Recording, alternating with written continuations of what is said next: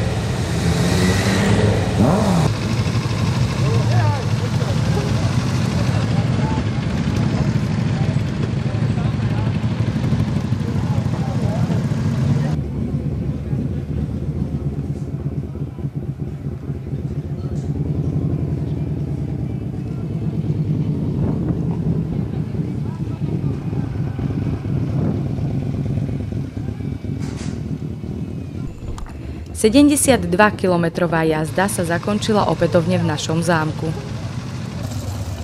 Motorkárom želáme okrem dobrého počasia veľa šťastných kilometrov.